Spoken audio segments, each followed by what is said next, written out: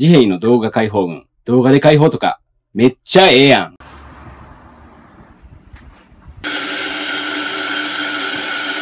今日、東栄町というところに行ってきまして、その途中に、アグリフレンズという店があったんですよね。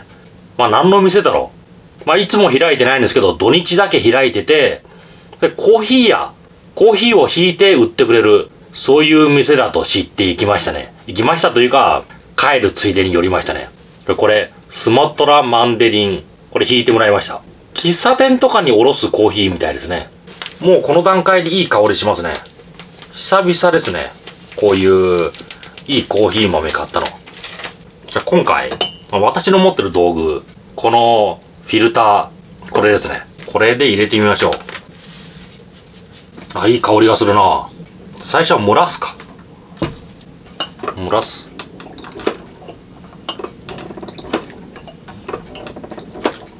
ちゃんと蒸らさないと美味しくないみたいですね。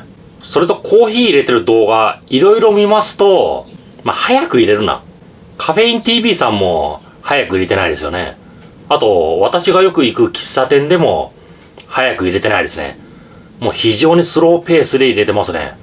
これでちょっと少しずつ入れてきます。あの、コーヒーって入れるときに泡が出る。あの泡ってえぐみみたいなんですよね。だから、あんまり混ぜちゃいけない。泡は上に逃がす。そう言ってましたね。本当はポットなんか使わずに、あの、み、お湯差しみたいな、そういうのを使うんですよね。まあ、うちにはポットしかないからポットに入れましょう。この泡を上に残したまんま、入れていく。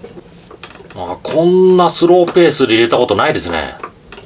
とりあえず、このえぐみ。それは混ざってないですね。確かにコーヒーって、ゆっくり入れるのがいいのかな水出しコーヒーとかゆっくりですからね。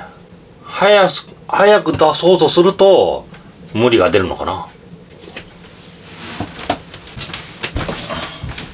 コーヒー入れ終わりました。マグカップスタバですけど、スタバじゃないです。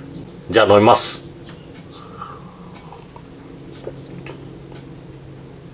あ、甘い感じがするわ。あの、自分で入れると、なんかえぐみばっか出た。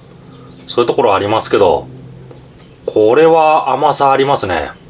まあ当然、喫茶店で飲むものと比べると、自分の腕が劣ってるから、まあ美味しくないですけど、まあ、自分で入れたコーヒーの中で美味しい方かな。もうちょっと工夫すれば、もうちょっと甘さが出るかな。そう思いますね。あ、れも久々に美味しいコーヒー飲みましたよ。